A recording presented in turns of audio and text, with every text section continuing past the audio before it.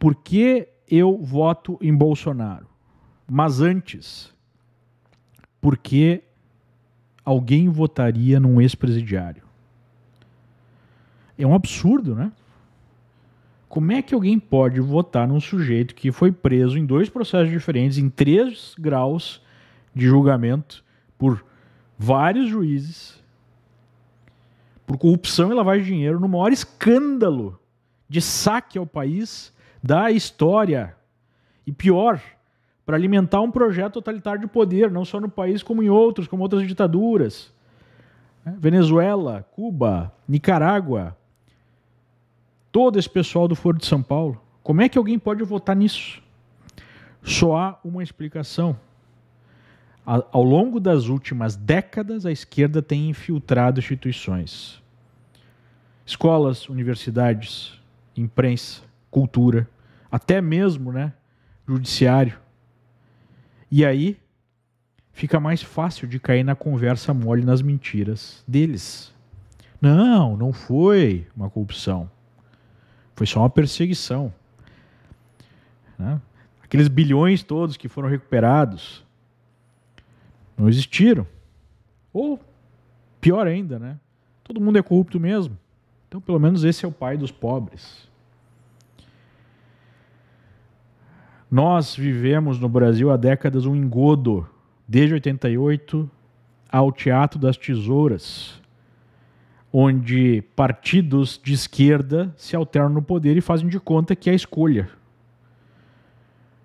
Eu voto em Bolsonaro não porque eu sou bolsonarista, né, porque essa palavra nem existe, não faz sentido, porque ela indicaria a existência de uma ideologia criada por Bolsonaro. Bolsonaro não criou ideologia nenhuma.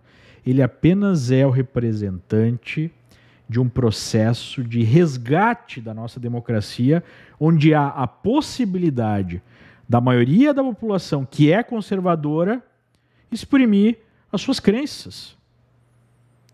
O Brasil é um país de origem cristã, a nossa cultura é cristã.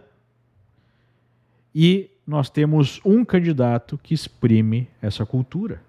Nós temos um candidato que exprime esses valores conservadores. Claro, com todas as suas falhas, com todos os seus problemas, porque ele é um ser humano. Mas em contraposição à alternativa, é de fato um candidato conservador.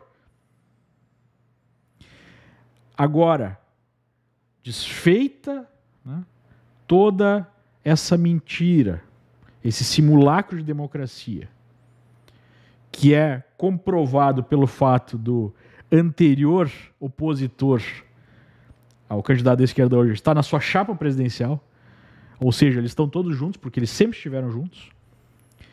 Eles só têm um caminho para manter o seu poder, que é o caminho que eles já estão trilhando. É o caminho da censura, da perseguição e da criminalização dos conservadores. É isso que nós estamos enfrentando. Nós temos a emergência de uma ditadura no Brasil. CPIs persecutórias, inquéritos ilegais, agora uma enxurrada de processos para calar e censurar a direita, com contribuição determinante do seu braço midiático, né, que eu chamo de militância de redação que defende com unhas e dentes a censura, a perseguição e até a prisão dos seus opositores, como acontece em toda ditadura. Ontem mesmo fui informado pela imprensa, não recebi nenhuma notificação oficial, que o PT, PT entrou em nova ação para me censurar, como várias outras já aconteceram, estão censurando dezenas de pessoas, porque num post eu teria dito que a esquerda hoje tem um projeto totalitário de cunho marxista comunista para o Brasil. Essa é a minha opinião. Meu direito fundamental de expressá-la é garantido na Constituição brasileira, mas eles querem me calar. Essa estratégia de processos, inquéritos e tudo mais é o que as ditaduras usam. Né? Eu tenho meios, por enquanto, para me defender, mas muitas pessoas não têm e acabam se calando. Você quer viver num país onde você não pode criticar políticos e autoridades?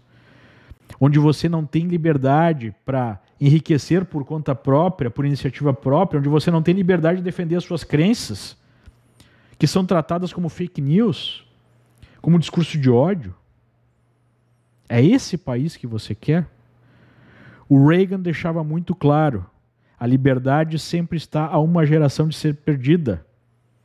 Ela não passa né, pelo nosso DNA para os nossos filhos. Nós precisamos lutar por ela. E é exatamente para impedir que o país caia numa ditadura que eu tenho essa postura, que eu falo aqui nas redes. Sem enganada com isso, ao contrário, eu só perco, né? Sou perseguido, censurado, custa dinheiro, atacado por pessoas.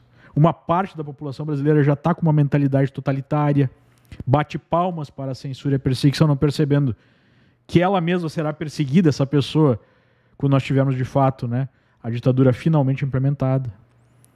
Então é isso que nós estamos vivenciando e talvez essa eleição represente a última oportunidade que nós temos para continuar lutando pelas nossas liberdades. Eu não sei se haverá outra eleição se a esquerda tomar conta também do executivo e seguir na sua marcha pela implementação de uma ditadura.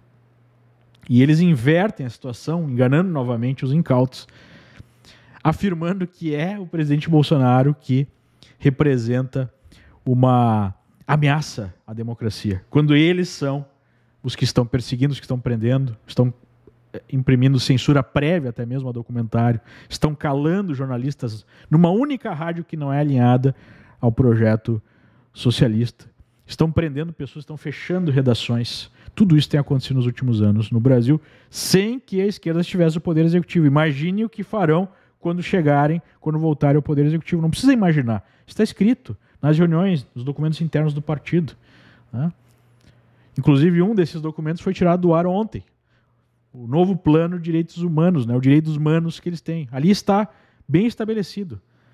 Desmilitarizar polícia, liberação de drogas, controle da mídia, está tudo especificado. O que eles querem fazer só não enxerga quem não quer ou quem está já muito profundamente dentro já de uma lavagem cerebral. Eu voto em Bolsonaro porque talvez seja a última oportunidade que nós tenhamos para salvar o Brasil de uma ditadura.